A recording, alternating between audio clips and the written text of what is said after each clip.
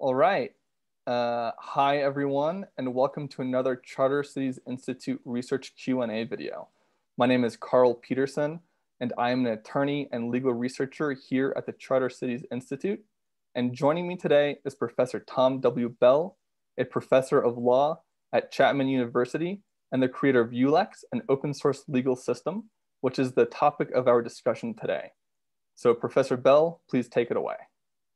Thank you, Carl. Pleased to be here. Happy to tell you all about ULEX. I'm going to start by sharing my screen where you can see um, a couple of lovely logos, one for ULEX, the open source legal system, the other for CCI. Um, so let me tell you about ULEX. I'm going to start by telling you about the best source for information about ULEX, and that's my book, Your Next Government. This is the uh, Amazon page.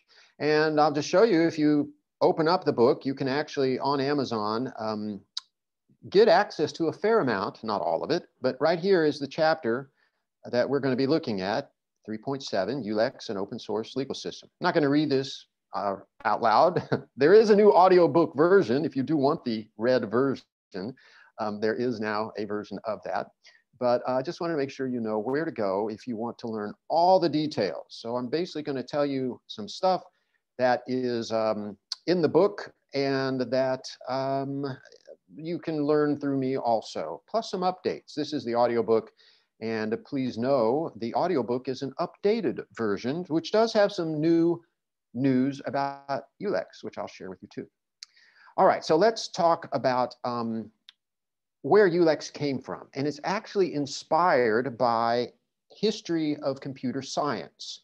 These are a couple of brilliant men who've been overlooked by most historians, Dennis Ritchie and Ken Thompson. Back in 1969 at Bell Laboratories, they invented Unix, Unix, and you can hear the, the similarity between ULEX and Unix. That's deliberate.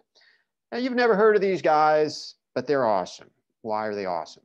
It tells you more here if you want to read about them, but the thing that I care about that's important for ULEX that I want to tell you about is what, what Thompson and Ritchie did was they liberated software from the constraints of any one particular um, computer. Let me, let me explain that for a second. So before Thompson and Ritchie created Unix, every time you created a new computer, you had to write the code from scratch because every machine was new and different. It was before really computer science was a science. And um, by the time Thompson and Ritchie got there in 1969, there was enough standardization, they thought, wouldn't it be nice if we had a single computer operating system we could put on different computers? Even if they had different chips, or back then they probably used vacuum tubes, um, wouldn't that be great? And yes, it would be great. And that's what they did. They created Unix. And again, the charm of Unix doesn't hit you in the face, but it's a really powerful idea. The charm of Unix is you can take one operating system and put it on different platforms. So that's great. If you're working at Bell Labs in New Jersey, you can go work at Bell Labs in New Mexico and use their computer. Same operating system, different computer, and it's the interface is the same. It's a way to do things if you're doing computer science. Why is that so exciting to a person who works in the law and who basically designs legal systems for private jurisdictions? Because code is code. That's the way I view it. I view myself as kind of a lawyer programmer. And what we don't have much of yet in the law is what, what Unix does. Instead, basically now at the nation state level, there are exceptions I'm going to get to in a second. But basically, the template is every country has its own code and they write it from scratch. And if you get into it, it's usually got all kinds of quirky historical artifacts, uh, a lot of bugs in the programs, stuff blows up all the time. It's not at all a science. The computer scientists have gotten this down to a science. People writing laws for governments, not there yet. Let's go back. I want to share some more stuff with you to show you that I don't want to over I don't want to overplay my hand here. Um, in that um, there's a movement towards kind of doing what Thompson and Ritchie did. I'm going to show you some examples. So this is the law from the Dubai International Financial Center. So right now I'm going to show you three or four jurisdictions that have started moving towards having something like Unix. And this is the setup for ULEX because ULEX does for special jurisdictions what Unix does for computers. The idea with ULEX is to create an operating system you can port from one platform to another more or less seamlessly. There are lots of good things that come from that. I haven't really talked much about that, but trust me, it's something you really want to do. Just like Thompson and Ritchie are heroes of computer science because they made computer science so much better, made computers so much useful. I want to try to do something like that with ULEX, but I don't want to overplay my hand here. I won't pretend this is a completely original idea. I mean, heck, Thompson and Ritchie got there first. But let's um, let's take a look at how they do it in the Dubai International Financial Center. This is a, um, a special jurisdiction in the United Emirates, one of several Emirates. Uh, Dubai is one of several in the UAE. And they created their own laws in this jurisdiction. They did it primarily so that people from uh, other countries could come in and do business without too much trouble. Initially under Sharia law, which is the governing law in the UAE, for example, basically interest on loans was forbidden. And they wanted to invite London bankers and other financial powerhouses to come down and do business in Dubai. So they had to change the law. So what they do? Here is the law in the DIFC. And I want you to notice here at the very bottom, right here, this section, they import the laws of England and Wales. The laws of England and Wales. Now, a lot of people talk loosely about the DIFC and they say, oh, they imported the common law. And I've said that myself but I'm always, I try to be careful to add the caveat. It's at the bottom of the list, okay? Really, the law here is if they have a regulatory rule, that's the law. And then if they don't have that, if the parties choose a law, that's the law. And it goes way down to the very end. This is their kind of firewall, their backstop, so that there will always be some law out there if you don't nail it down earlier. It's not really importing the common law, it's a step in that direction. All right, so let's note before we leave the DIFC, that's an amazing thing. This is a, a, a country under Sharia law that has basically imported the common law from England and Wales. Now there are limits to this. They didn't like, you know, they didn't say the Queen of England is now our queen, but it's a step in that direction. And they did it for good reason, and it's been a huge success. The DIFC has been a huge, huge success, and it's been copied. Let's take a look at the ADGM. This is another emirate in the UAE. And this is their law. They, they basically followed the Dubai model. And look what they did. They structured it differently, but if you're a lawyer, as, as Carl is, I'm sure he's probably looking at this now and figuring it out. They start out with the law of England. They say the law of England shall apply and have legal force in the ADGM. And then they start kind of hedging on it. So they say they did it kind of reverse here. Here in, in the DIFC, they gave the rules first and they put the common law at the end. Here they did the reverse, but logically it comes out the same. Notwithstanding um, these changes, there's these other rules that are going to apply. So I'm not going to get into all the lawyerly geek out here. I just want to give you another example of a country, a jurisdiction within a country that has imported the common law. So I hope you see how this is a bit like um, a bit like what they did with Unix.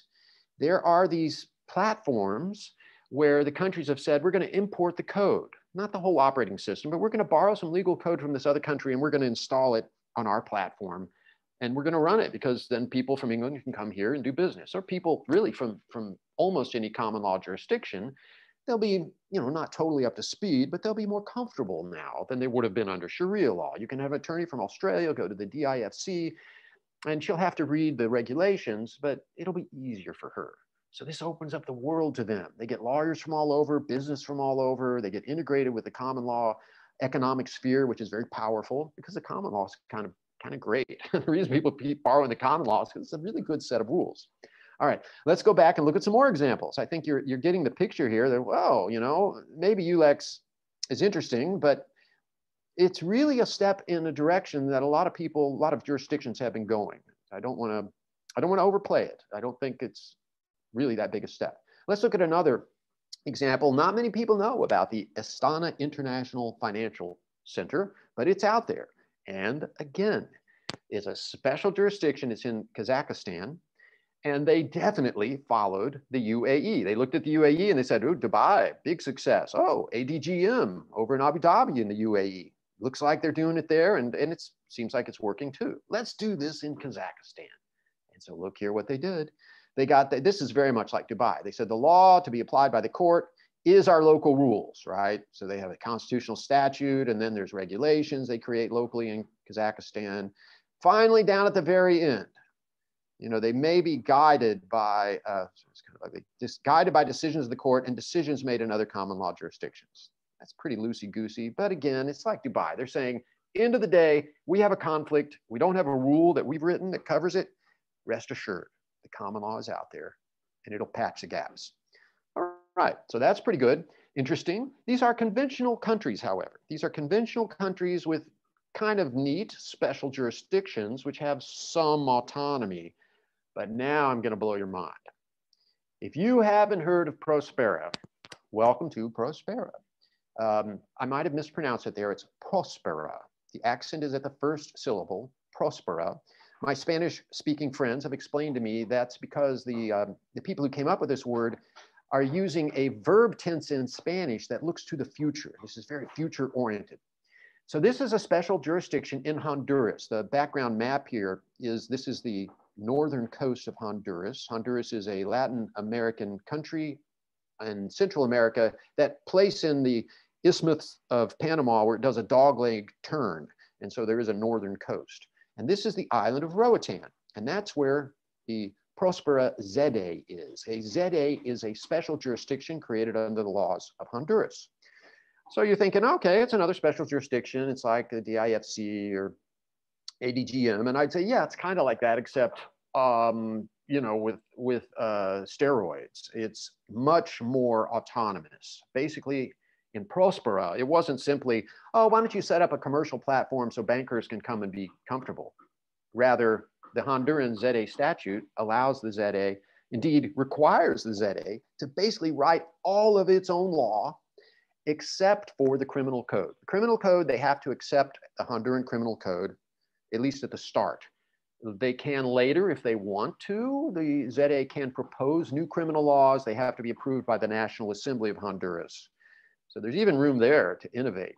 But the short of it is, for our purposes here today, is all of the non-criminal law has to come from the people who created Prospera. And I worked on the team. Uh, I've uh, done work in Honduras for years. This is actually the third team I've worked on trying to get a ZEDE going. And they're the ones that made it. This has launched. It is open and running.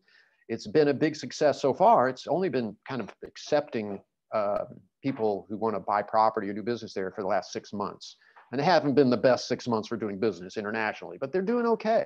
They're actually oversubscribed. So the thing I want to show you here, so this is this is Prospera, and I worked on the legal code. And let's go over here and look at the Roatan Common Law Code. And um, this basically ha has a lot of stuff, but at the kernel of it, I'm going to scroll down here. You will see, let me go to the next page. Look at these rules here. These are going to look familiar to you starting at substantive law. So look at the tort law here. Where did Prospera, which by the way, is commanded in the statute. There's a statute the Honduran uh, government passed allowing the creation of these ZEDEs. And that statute says, basically, we want you to use the common law. Now, that's a civil law country. So they don't have a ton of experience with common law, but they know where the action is. They can see that international business likes the common law. They want to be able to draw in a lot of business from America in particular. They're in the same time zone as uh, the United States. So they want to make it comfortable for Americans and other common law business people to do business. Where are they going to get those rules? Now, we saw how these other jurisdictions did it. They kind of punted to another country. And I'll tell you right now, as a guy who's worked in this field, I don't think that's best practices. I think, in fact, that's a very dangerous practice.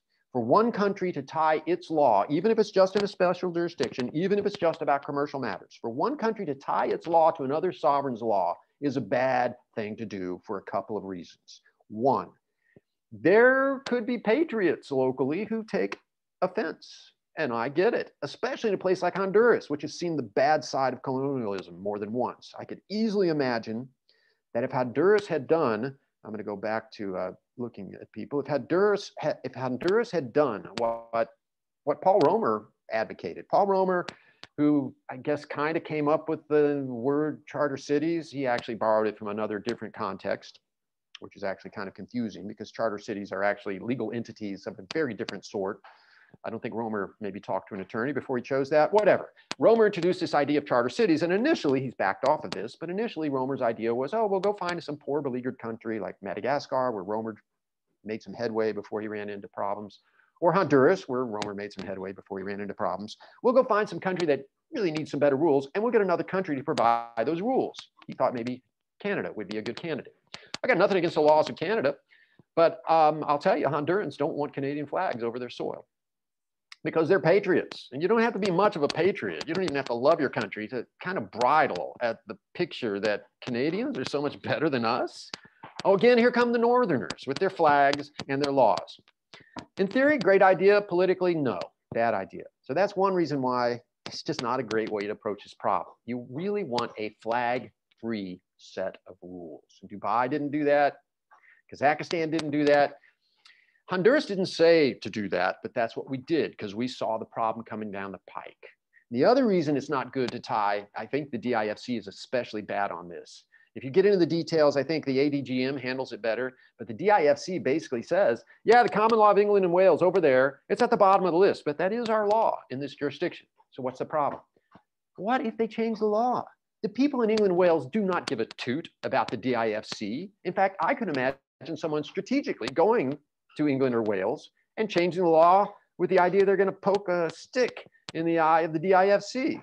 The local courts, they could pass some new judgment reinterpreting the law of England and Wales. I've heard international attorneys who've set up this kind of system praise it as evergreen. It's an evergreen legal system because as soon as they update the law in England and Wales, your law is updated accordingly. A terrible idea. What if they take the law in a different direction? Plus, the law of England and Wales, okay, okay, it seems to work well there, but it's encrusted, take it from a law professor who has taught first year property classes. It is encrusted with a number of archaic distinctions, which, mm, you know, came from the history of England and Wales, have nothing to do with Dubai. I wouldn't trust those archaic rules developed under a completely different social legal system to work well in Dubai. Bad system. So don't use foreign laws because it offends local patriots for good reason. It does kind of look like colonialism. And don't tie your local law to foreign laws in this evergreen way because they can go change their law and you leave, it leaves you in a bad place. So that's why with Prospera, what we did was something different. Let's go back to that, the Roatan Common Law Code. And so you can see here, let's just take tort law. How do you get tort law? You got no precedents to draw on. You're not going to bring the Canadian flag down to Honduras. So here's what I did. I looked to the Restatement of Torts. The Restatement of Torts is published by the ALI, the American Law Institute, which is a fine institution. It is staffed uh, with the, well, not really staffed, they're members, it's just peopled with esteemed lawyers and judges and legal academics. And together they get together and they think hard about the common law and they create these restatements. People who've read a ton of cases, they sit down and they basically boil it all down to a few simple rules. And they publish it as the restatement of the common law of torts. So there, in a codified, nice, neat way, um, you can see all the rules. And so I'm going to scroll down a little more. I'm going to show you how it goes. We got, there's our, there's our, um, Oops, I want to go up a little. There's our contract law, the restatement second of torts. And I actually have a copy of that right here on my desk because I teach contract law right now. So I'm going to go back. I'm going to just going to put this under your nose. So you'll see what the restatement of torts looks like. This is a very much marked up copy, but I want you to note how much it looks like, how much it looks like a statute right? It's all neatly organized. There's a table of contents. Everything is broken out in these very clear, simple, elegant, parsimonious rules. So you can read this easily. And this is a boon to our friends who did not grow up under the common law. I think US attorneys and attorneys in common law countries, they don't appreciate enough how hard it is for them to know the law. If you're talking about the common law, strictly speaking, the common law comes out of cases. So if you're advising a client on the common law of contracts, strictly speaking, you should have gone out and read a ton of cases on contract law and then come up with this idea about how it's supposed to work. Really, very few people do that. it's almost an, uh, an impossible gargantuan task. So what real attorneys do is they look at a few cases that are close to the case they have. They look at the restatement and they find it all broken out, nice and neat. And that's a beautiful thing for them. But it's especially beautiful for people in civil law countries. They know very little about this case law, which is scattered all over the place. They probably don't know how to research. It's why people go to law school. They're familiar with a civil law setup. And in a civil law system, your laws look a lot like that restatement. It's all indexed, it's a set of rules. Yeah, there are decisions under those rules, and those are interesting, but that's not the law. The law is boom in black and white. That's what the restatements gives you. That's why it makes so much sense to use it in a place like Honduras. And indeed, I came up with ULEX for the ZEDE system. Basically, those are my clients. And my client said, we need rules, Bell. We need a bunch of common law rules. How are we going to do that? And I very quickly said, we're not going to do that by using the Canadian flag or the flag of any country. That's not going to fly. Well, then where do we get the rules? And I, because I'm a law professor, I know where to get them, man. We're going to use them for the restatements. Let's go back and look at some other things here. Actually, what, what I think I'll do now is take you to ULEX. So I've, I've taken you up to the point where you can actually see this being implemented. So this is ULEX in the real world. This is basically ULEX. And I'm going to take you to ULEX now and show you ULEX. Now, you can get it um, other ways, but this is probably the best source for your information about ULEX. I want you to know we are here on GitHub. GitHub is the basically the place where people have open source code. So if you're a coder who writes conventional computer code, you could go to GitHub and have other people help you with your open source code. For example, to run some app so you can do um, sharing of photos on a, on, a, on a social platform. You could have the code here and other coders would help you. So to me, because I view code as code, it seemed to make perfect sense to use GitHub for ULEX. So you can go here, there's a pretty picture here of, this is actually, there's a plant called ULEX. Um, and it's also called Gorse or Whin. And there's a nice, pretty public domain picture of it. And then here is ULEX. And I'll scroll down and just show you how, there it is. There's our tort law. You remember we saw that? Um, it will scroll down. You can see here contract law. There's the restatement second of contracts. So now let's just take a moment. So now you see, I hope, how um, there's a need for ULEX, how it does things similarly to, but differently from these examples in the real world. And the ultimate model is a Unix type open source transportable operating system. The idea is with ULEX, you can set up a special jurisdiction in Honduras. You can set it up on a, a floating vessel, a seastead. I guess you could do it on a space station. You could do it anywhere, anywhere where you have the authority, indeed the obligation to come up with rules. ULEX puts it on a plate, makes it well organized, easy to use. Um, and let's take a look at it now. I want to just kind of give you a fly through of ULEX. It starts out, there's three big parts, the procedural rules, the substantive rules, and the meta rules. I'm just going to go through these quickly. So the procedural rules are those that help you decide disputes.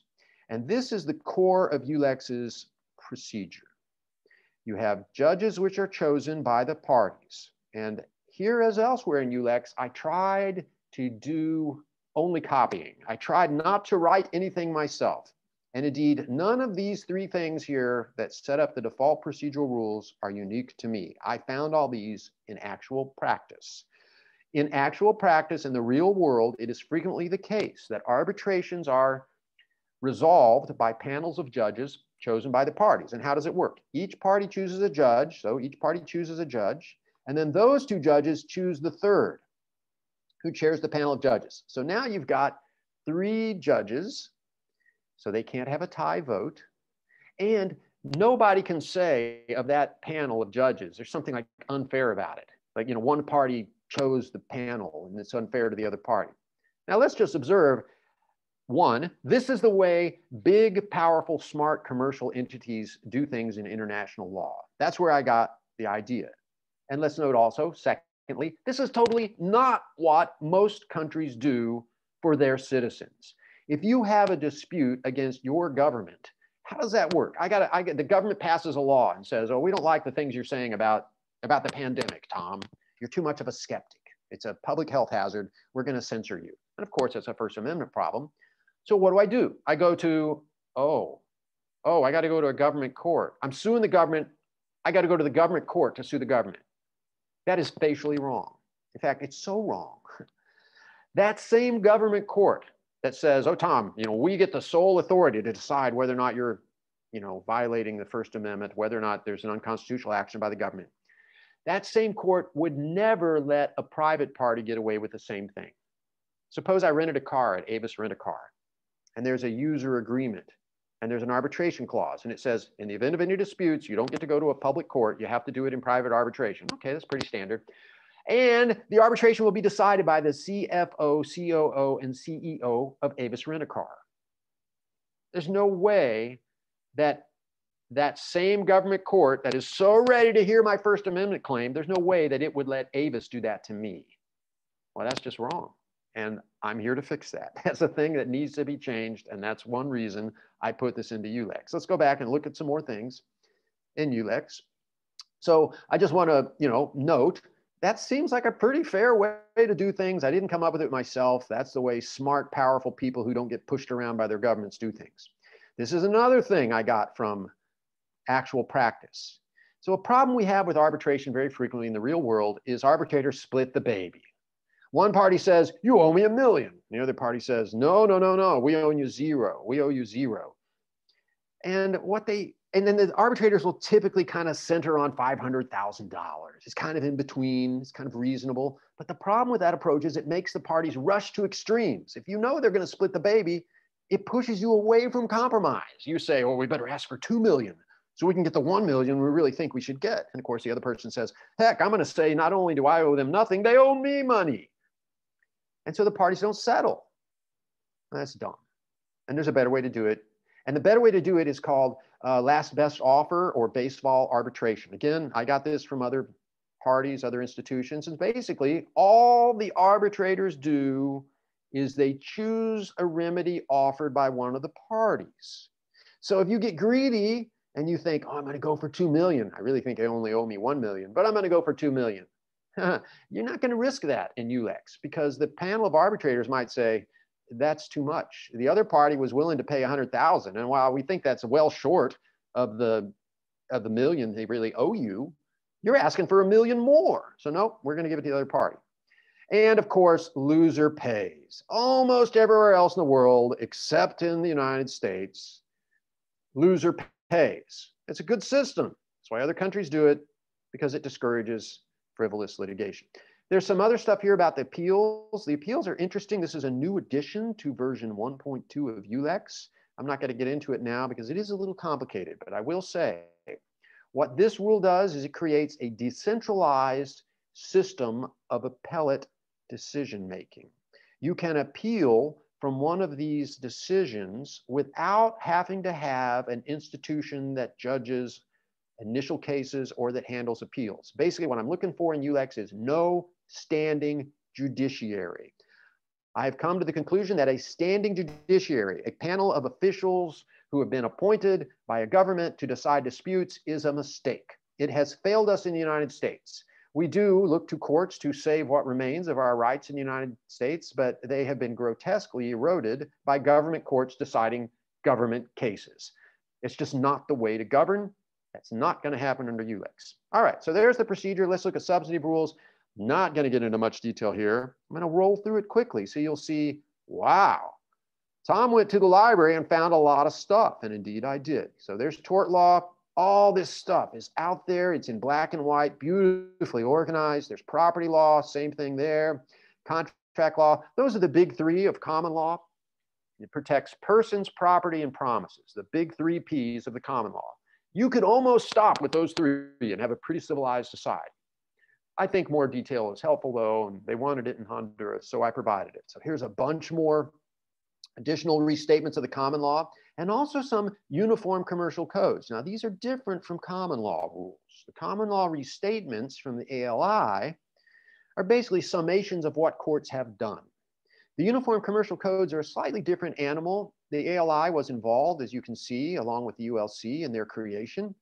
But these are basically codifications by private entities. Both the ALI and the ULC are not government entities. They are private entities in the United States, although the ALI does have members from other countries. It's a common law directed organization. But basically, they got together and they created all these many useful commercial codes, which many of which have been adopted by US states. The idea was let's give a bunch of rules to US states so that North Dakota doesn't have to write its own rule for secured transactions. That's kind of complicated stuff. North Dakota could get it wrong. They might want some help. Let's do it for them. And let's just pause here and note a beautiful thing about what's happening with these rules. There's no lobbying. There's no lobbying involved with these rules. There's no reason for anybody to go ALI and say, oh, ALI, we think you should tweak contract law this way because, you know, we're insurance companies. And I won't pretend that never happens, but there's nothing. I mean, I'm sure once in a while some insurance person, you know, talks to a professor and says, you know, I wish you'd think more about insurance companies. We have special problems. But they're not lobbying. They're not taking these people writing the code on golf outings to Bahamas. And also with the Uniform Commercial Code. If you get a statute from North Dakota, I mean, we hope it'll be good, but you can bet there's going to be a lot of lobbyists that shape it. And I don't trust it. I don't think we should. The people who created these uniform commercial codes, I won't pretend they were angels. I won't pretend they didn't have, you know, maybe some some other interests in mind, but I think we're getting much better product out of those private bodies not subject to lobbying. So I trust it more. That's the kind of stuff I want to have my clients use. So let's go back, look at some more. Then we move into some more, these are uniform acts, which are kind of like uniform commercial codes, kind of statutes created for states that want to handle these things through professional uniform means. And so we got stuff for natural persons. So families are covered. Here's corporations, partnerships. Um, then there's some substantive administrative rules. So the Uniform Electronic Transactions Act and the Recording Act. It's kind of boring stuff, but really important. Here in the very end of the substantive section, I did have to write some code myself. I was kind of uncomfortable about this. I don't think anyone should trust me. I don't mean that because I'm untrustworthy. I'll say people can trust me, but you shouldn't have to trust me. So I try to, as much as possible, make it so that I'm using stuff other people have pre-approved. Here I couldn't, but I think anyone who's worked in the areas of law that are involved here will look at this just to take one and say that's pretty reasonable. It's definitely on the conservative side. A lot of states have age of consent at 16. It's an, every time I had to make a choice here, I went very conservative. I had to write this. This is new to 1.2. I'm very happy with it, but it's a, more complicated than I ideally would like to write. But there's nothing, I couldn't find anything standardized, uniform, nothing from the ULC, ALI. And we really need, it turns out the common law doesn't treat people who survive, uh, who die in accidents very well. So you need this kind of patch. All right, so those are the substantive rules. And now let's quick, look quickly at the meta rules. And the meta rules are basically just kind of like programmer type rules to avoid blowups. So here's just take one. This is very obvious how this last one works. If you have two rules that give conflicting results, the one list, listed later in the index prevails. So if you go down, it's kind of a more powerful rule. And so you'll notice this is the last rule because you don't want any rule to trump the no conflicts rule. So I won't dwell on that. I think those of you who've done coding will see, you kind of nod your heads and say, yes, that makes perfect sense. There's an optional criminal law module if you want to adopt that, um, but I don't think that's necessary. Okay, there's ULEX. Um, I'm going to stop sharing there. And I'm, I've almost, I think I've shown you most of what I wanted to show you. You've seen the inspiration in Unix. You've seen how most of the places in the world, we're still, you know, where computer science was before Thompson and Ritchie. Every time we have a separate platform, a bunch of, frankly, a bunch of non-professional people who are lobbied pretty hard to do the wrong thing, they're in charge of making the rules. It's a terrible, terrible system or at least we can do better. It's maybe it's better than having warlords who, you know, summarily execute people. It's progress, but we still got a ways to go. We're above the abacus. We're to computers, most of the world, but we're not doing Unix. Few jurisdictions are heading that way. They've had some initial efforts. You've heard that I'm quite critical of what has been done, you know, approving in the sense that, way to go, Dubai. Nice try, Kazakhstan. You don't have it dialed in yet. Honduras is probably the best example. I'm working other with other clients now. So there's a prospect now, there's a place I can now point to on the map and say, just as with, my, I have my, my Android cell phone here and Android, the Android operating system is the most popular operating system in the world. I mean, because it is an operating system on a smartphone, just like an operating system on a computer. And because these Android phones are so popular, that's the most popular operating system in the world. And at its heart is a kernel, a Linux kernel. Linux is another open source operating system is created by Linus Torvalds. And some purists say you should call it GNU slash Linux. I don't want to get into that debate. But the point is, this too, this is the most popular operating system in the world, and it's got a kernel of something much like Unix, Linux at its heart. And that's like Prospera has a kernel at its heart, which is Ulex flavored. They've done some tweaking. You know how it is with code. You, you give the world the code on a plate and they integrate it into their system by making changes. I helped them make some of that system, those changes, and then I, I no longer work actively on that project. I helped with the development, and now I'm working with other clients. And I can, when I go back and visit, I can see, oh, they've changed a few things. It's great. That's what clients should do to kind of tailor it to their system and their environment. Um, so I can point to a place on the map and say, there's there's Unix, uh, uh, Ulex inside, just like you sometimes see, you know, Intel inside. I can there's Unix, uh, Ulex, Ulex inside of that operating system. And I'm working with clients now that are probably going to do a pure, we're not done yet, but probably do a kind of a cleaner use of Ulex. It'll be much more sort of just like take that code and whoop, there it is. So you think, oh, that's great, you're done. No, I want to be clear. Ulex is only part of a complete governing system. Now with this, uh, my newest client is Free Society Project, and we're actually building out the whole governing system. And I just want to clarify, you might be thinking, well, come on, man, there were all those rules. Surely you covered everything. And no, we didn't. I'll just take an example off the top of my head. Immigration policy. Nothing, nothing, nothing in uh, ULEX addresses that. It's not a civil law issue, right? Uh, the common law doesn't have immigration controls. There's no uniform commercial code of immigration. And yet, if you're running a sovereign jurisdiction that has its own territory, that's the goal with Free Society Project, the goal specifically is to go find a sovereign that has more territory than it really needs and less money than it really needs, and go to that sovereign territory and say, you know, you got this island over there, and you know it's part of your sovereign territory. You're really not using it. Not many people are there. We can we can put it to good use. Let's talk. And you end up doing a treaty with them, and you create a new sovereign. There's ways to do this. It won't be the first time it's ever been done, although it'll be more radical than the way it's ever been done in the past. And so we'll have this territory and we'll have to run everything from soup to nuts. So we will need some kind of immigration policy of some sort. You won't get that from ULEX. So ULEX um, will be in this fully built out system, an important kernel, but there'll be other things. Also interfaces, right? There's nothing in ULEX that tells you who gets to vote on the rules if you amend them. You know, who, who does that? You need other stuff. So I want to observe that. Um, also, uh, the last thing I'll, I'll, raise, and then I think Carl might have some questions, um, is I want to go back to Unix and, and give you the vision that I saw that inspired me when I started working on UX. Now, Unix itself is really super cool and great. As you know, I'm a huge fan. Thompson and Ritchie, yay, heroes of computer science, pioneers, really did some great work. It's not enough.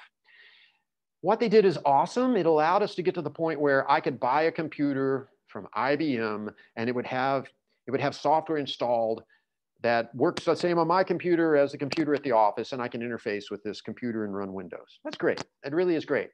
That's not as good as it gets, though. What has really made computers powerful, so important in our lives, is their connections with other computers, is making a network of platforms running mm. the operating system, connecting them. And that's the vision for ULEX. The vision I have for Ulex, is someday there will be jurisdictions all over the world, heck, maybe in outer space. Elon Musk on Mars, he's already said it's going to be sovereign. And the first thing I said to myself was that guy's going to need rules. I got him. Um, and so I have this vision of a world where I can be right here in beautiful California, hopefully in a special jurisdiction. We're working on that too. That's another project. but we're running ULEX right here in California. And I need to transact business with somebody in, um, you know, perhaps uh, Switzerland. And they're running ULEX too. And now, just like TCP IP, the protocol that makes the internet work, just like that allows me to communicate between two nodes on the internet more or less friction free, we'll be able to do that in this new world. There won't be some cranky local law that says, oh, no, that's a violation of uh, the right of publicity. And I got to deal with somebody in Switzerland. They don't have that rule. And we got this interface problem and there's all these friction costs and it just doesn't run smoothly. I want it to be like the internet. so that when I transact with somebody in Switzerland or heck on Mars, we're all running basically the same code. It Doesn't mean we're under the same government. I want to be clear about that. ULEX is not, well, I get to take over the world. I get no power at all out of this, frankly. I get my jollies. It really gives me great joy. The thought there's so little that attorneys can do really to, to help the world be a better place. I think attorneys can be heroes, but most of the time they're just helping a particular person with a particular problem. And I think attorneys are like anybody else. They, they want to help. They really do. And this is my way, I feel, of maybe offering the world something that could help a lot of people. If I could bring internet type network effects to governance, if ULEX could help do that, would be wonderful. We could help lower some of the barriers that prevent people from cooperating today and, and enjoying exchanges and creating wealth. And the law too frequently gets in the way. I want to create a world where people can run the same basic legal code, be on the same kind of fair, level playing field. And sure, they'll have their local rules to control things like, you know, who can, you know, make noise in the street. But as far as doing commercial transactions, same rules more or less for everybody, fair methods of adjudication that don't involve going to some government court. Um, I really think good things can come of that. It's certainly worth a try. And that's why ULEX is there. And thank you for listening, Carl. That's a quick introduction to ULEX. Thank you very much, Professor. I really appreciate it. Um, uh, like we said earlier, I have uh, uh, some questions for you. Um, uh, in the interest of full disclosure, I do have your book here. I have read your book, uh, in particular the chapter on ULEX. Um, so part, some of my questions come directly out of your talk, and some of my questions um, come out of some of the reading I did um, which if uh, our uh, listeners or our watchers are interested, I highly recommend that they uh, go ahead and purchase your book and uh, read it to get like a better introduction and a better understanding of ULEX. So uh, in general, um, in your book and in your talk, you discussed how uh, people have brought in law or people like the um, Dubai, the Dubai International Financial Center, um, uh, the International Financial Center in uh, Kazakhstan have brought in um, uh, law from England and Wales. Um, and you think that personally, uh, from your perspective as a, a, professor and as a practitioner, that this is not the best decision to do. Um, and then you've decided that for ULEX, you uh, are going to use law that's been developed by private groups uh, such as ALI or the Uniform Law Commission um, however, these these uh, these bodies of law developed by ALI and the ULC, um, they have like an American sort of bent or perspective uh, on them. Uh, so, do you, are you concerned at all that, um, or or do you do you believe that this will always sort of be the body of law used, or do you think that there are going to be other outside groups that will develop other bodies of law? Um, I am concerned about that, and I think it's a fair kind of concern to have. If I were a patriot in Honduras, I would say, well, look, I'm glad you're not flying the US flag or the Canadian flag, but this has a US centric smell to it, frankly. And it does. Uh, the ALI is the American Law Institute, and it's not North America. they really mean USA. But I will say their horizons are broader than the United States, at least at the ALI. The ULC is much more sort of we they they the ULC got started as we need laws for the various US states. So that is a little more US centric. The ALI is really about the restatement of the common law, and they do make reference to the laws of England and Wales and Australia and New Zealand and other places. Not as international as our Honduran patriot might like, but it's you know it's at least it's not you know, saluting the stars and stripes. And then also, so, you know, I see the concern there, but here's the other point. There's no alternative. I've looked for a restatement of the civil law. I think it'd be great if we had a restatement of the civil law. I would like to have that competition for ULEX, but it hasn't happened. There actually were a few scholars, that got together and they said, we're going to do it, and they didn't do it, as far as I can tell. They kind of got the project started and they gave it up. I think that would be really useful. I'd also like to see, and this is kind of on my to-do list, we need a restatement of admiralty law. There's nothing in anything that the ALI ULC or anybody has done to kind of give us a restatement of admiralty law, the law of the sea, and that's important stuff. So I think we need to have more developments. I'd like to see more competing codes, just like Unix was great, but so was Windows, and so was Apple's OS. I think that there should be competition between operating systems. Another reason why I don't think ULEX is going to take over the world. I don't think it should.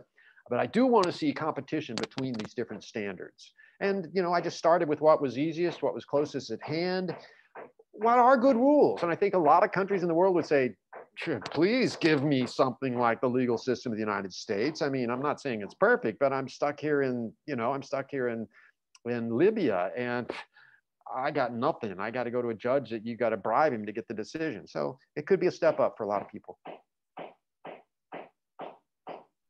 Uh, so Professor, uh, Professor, um, uh, in addition to that, I think you did a great job sort of going over over the issue of bringing up, uh, bringing in different legal traditions from around the world um, to have a better representation, and you desire that competition.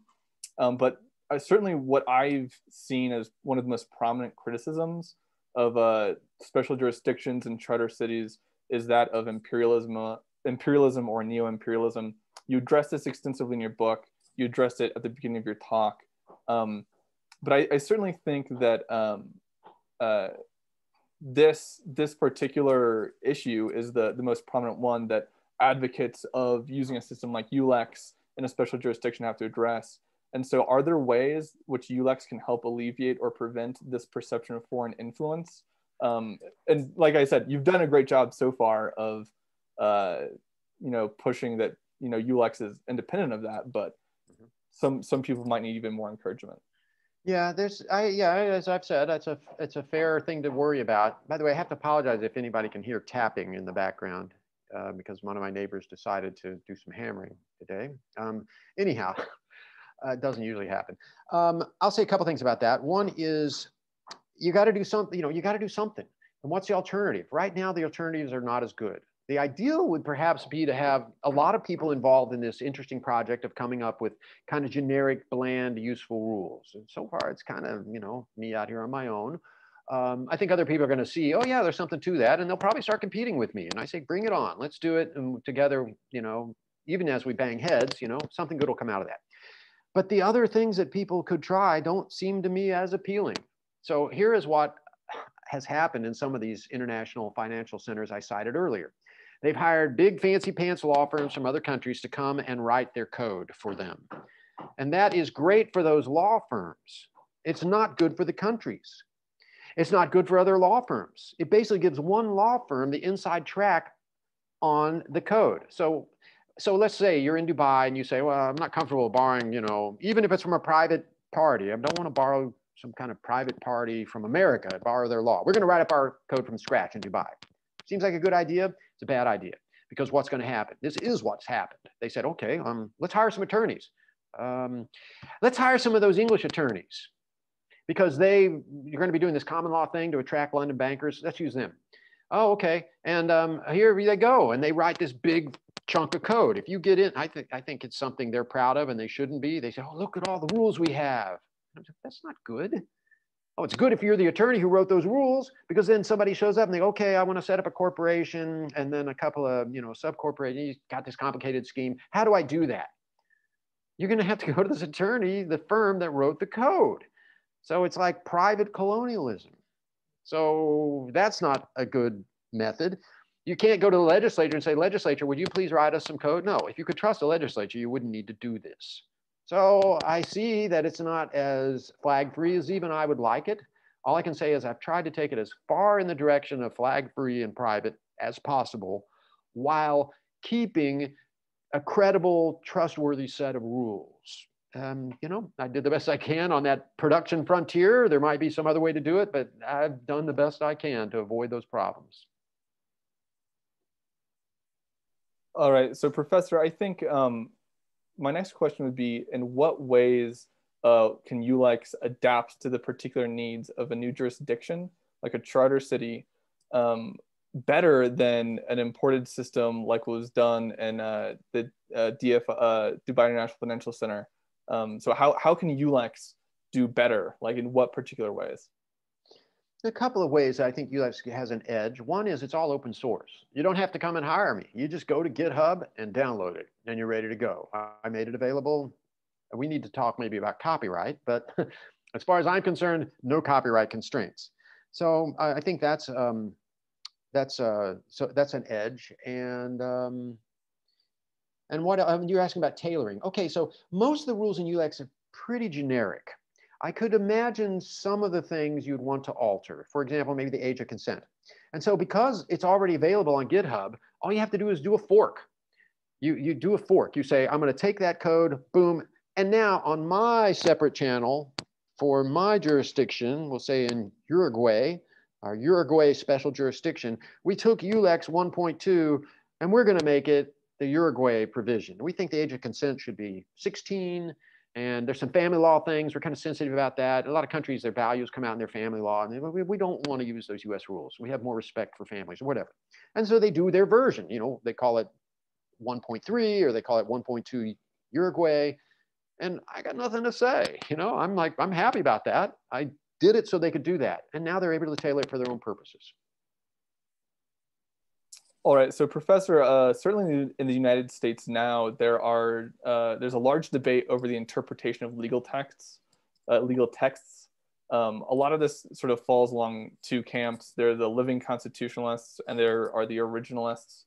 Um, do you think that ULEX will have issues of interpretation um, in terms of practicing law, especially when it comes to conflict of laws? And I know that uh, some of the meta, meta rules in ULEX ad- directly address conflicts of laws but in general, will issues of interpretation be a problem for ULEX? There will, I'm sure, be questions of interpretation. You just can't escape those, right? And the words are never self-interpreting. Um, with regard to the Constitution, by the way, I do want to observe, you know this, Carl, but your uh, listeners might not, that there's a chapter in this book, Your Next Government, about constitutional interpretation, in which I argue convincingly that both originalists and so-called living constitutionalists are wrong. The correct approach to constitutional interpretation is offered right here in the book. I'm happy to have solved that problem for so many constitutional lawyers and scholars. I'm surprised it's taken this long. You treat the Constitution like a contract, which means you apply the rules of contract law interpretation. I won't get talk about that more. I'll just say if you want to figure out constitutional law, get that book and read that chapter. As applied here, I'll say, yeah, you know, there will be problems. I won't even say problems because that's like saying, I have a problem, I have to breathe to stay alive, right? Interpretation, that's just the way the law is. It's not a problem, it's just the way it works. And so what'll happen in ULEX is there will be interpretations of the application of the rules to particular facts before a particular adjudicatory body. And so, you know, you have a particular panel of three judges and they have to interpret some contract or let's say a tort law claim about um, intentional infliction of emotional distress. So it's kind of a loosey goosey. We have some rules for that, but definitely got to make some judgment calls or whether it was really abusive to say what that person said to that person in public. And that panel has to decide that. There is no binding precedent in ULEX because there's no superstructure of courts and a standing judiciary. So I want to just bring this out, Carl. The way that that over time we will come to understand the rules of ULEX is by looking at these individual decisions of different courts and not saying, oh, that's the higher court and it binds us. That's not the way it's going to work. It's not hierarchical. Rather, it'll all be persuasive authority. It'll all be persuasive authority and it'll be to the next panel. So we now have lots of decisions on intentional infliction of emotional distress on social media. We can't look at old case law completely because they didn't have social media, but we got all these new cases that help us figure it out. Now there's a new panel, new case. They would be foolish not to go back and look at those other opinions. And the attorneys in front of them are going to say, You've all heard about this famous um, decision that involved this celebrity and how it came out. And we think this case is just like it. And they'll argue the way lawyers always do. All right, Professor, that was really great. I think um, I might have more questions, but uh, I think that our uh, uh, listeners and watchers need to go ahead and uh, pick up your book if they are interested in uh, uh, your perspective on your next government, um, on issues of ULEX and governance and law. Um, I really appreciate you taking the time out today to speak with us. And is there anything else you'd like to say before we go? I'll say that I'm a big fan of what CCI is doing. Um, I myself am more closely affiliated with the Institute for Competitive Governance, which publishes the first journal dedicated to scholarship in this area, the Journal of Special Jurisdictions. But the way it's shaken out, CCI is doing really great work. I've been loving the podcasts. I didn't know about this new thing you're doing. I'm sure this is going to be great too. CCI is doing great work over here, and kind of ICG is doing slightly different things. So, a big fan of CCI. And I'll say, if you like what CCI is doing, you might see what ICG is doing. And it's in a different area. It's kind of more scholarly, but I think there's lots of work to be done, my friends. There's a lot we need to do to create this. Really, it's going to be a great new world. It gives me hope for the future. We're going to make government better if people listen and act on the work we're doing, Carl. And man, the world needs better government. So let's keep doing this good work. All right. Thank you very much, Professor. Uh, once again, I appreciate you taking the time out and you have a great day. You too, Carl. Thank you.